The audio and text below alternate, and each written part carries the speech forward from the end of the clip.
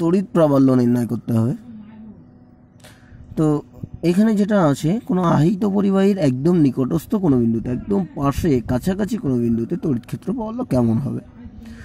তো সেটা করতে গিয়ে আমরা সাধারণত স্ট্যান্ডার্ড যে পরিবাহীটা আছে সব থেকে আমাদের চু তড়িৎ ক্ষেত্র বা তড়িৎ ক্ষেত্র সম্পর্কিত কাজকর্ম করতে সুবিধা আমি আগেই বলেছি, সেটা গোলক। সুষমভাবে আধান থাকে।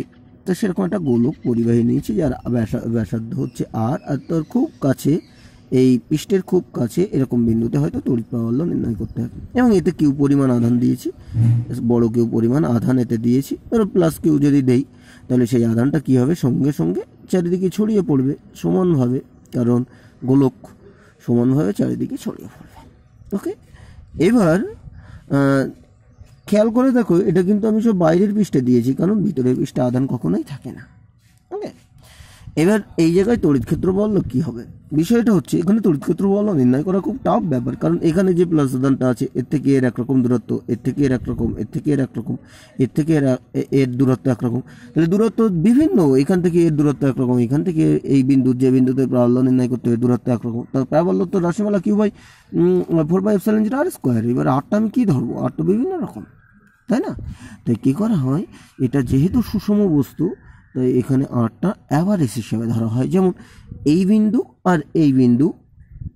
এই দুটোর অ্যাভারেজ মানে আমরা কি করতে পারি? এই দুটো বিন্দুর অ্যাভারেজ মানে কিন্তু কেন্দ্র। এই আধান আর এই আধান, এই দুটোর অ্যাভারেজ কি হবে? কেন্দ্র। এই আধান আর ঠিক তার উল্টো দিকের আধান, এখানে যে আধানটা আছে, তার অ্যাভারেজ কী হবে? সেটাও কেন্দ্র। এই আধান এই আধান দুটোর অ্যাভারেজ কী হবে? কেন্দ্র। তার মানে টোটাল মিলে আমরা দেখছি যত বিন্দুগুলো আছে, সবার কিন্তু অ্যাভারেজ পয়েন্ট হচ্ছে কেন্দ্র। তার মানে আমরা বলতে পারি কোনো গোলকে যদি আধান দেই, তাহলে তার প্রভাব বাইরে যেমন পড়বে, ওই আধানটা যদি আমরা কেন্দ্রে রাখতাম অ্যাভারেজ পয়েন্টে রাখতাম, তার প্রভাব বাইরে কিন্তু একই পড়বে। অর্থাৎ বাইরে আধান দেওয়ার ওই কেন্দ্রের পুরোটা আধান দেওয়ার জন্য এখানে যে ক্ষেত্র প্রাবল্য হবে ওর কেন্দ্রে ওই আধানটাই যদি আমরা রাখতাম, একই ক্ষেত্র বল হবে। তাই আমরা কল্পনা করে নেই, এরকম গোলকে যদি আমরা আধান দেই, সেই আধানটা তার কেন্দ্রে জমা আছে বলে আমরা কল্পনা করে নেই। ঠিক আছে? এইবার সেইভাবে আমাদের কাজকর্ম করতে হবে। সেইভাবে যদি কাজকর্ম করতে হয়, দেখো কেন্দ্রে আধান জমা আছে এই জায়গায়, আমরা তাই অ্যাভারেজ ধরে নিতে পারি। তা এর থেকে আধ দূরত্বে খুব কাছাকাছি কোনো বিন্দু তড়িৎ প্রাবল্য নির্ণয় করব, তার পৃষ্ঠের খুব কাছাকাছি মানে আধ দূরত্বে তড়িৎ প্রাবল্য নির্ণয় করতে গেলে তড়িৎ প্রাবল্য রাশিমালা কত হবে? কিউ ইজ ইকুয়াল টু কী হবে?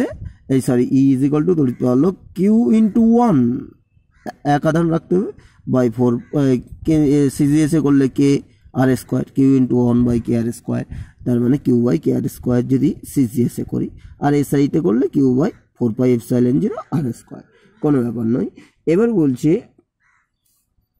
এবার যেহেতু পরিবাহীটা সবসময় সুষম নাও হতে পারে, তাই এই পরিবাহীটাই আমাদের কেউ না রেখে এখানে যদি আমরা তলমাত্রিক ঘনত্ব দিয়ে আমরা লিখতে পারি, তাহলে খুব সুবিধা হয়। তাহলে এই ক্ষেত্রে আমাদের তলমাত্রিক ঘনত্ব সিগমা ইজ ইকাল টু কত হয়? Q by four by r square এখান থেকে তুমি যদি কিউ নির্ণয় করো q is equal to sigma into four by r square ঠিক আছে? এবার এই মানটা আমরা যদি বসিয়ে দেই, তাহলে ই এর রাশিমালা দেখো ওখানে কি হবে? ই ইজ ইকাল টু তলমাত্রিক ঘনত্ব দিয়ে কিউ এর বা জায়গায় বসাবো কত?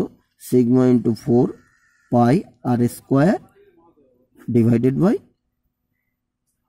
k r square ঠিক আছে? আর স্কোয়ার আর স্কোয়ার কেটে গেল।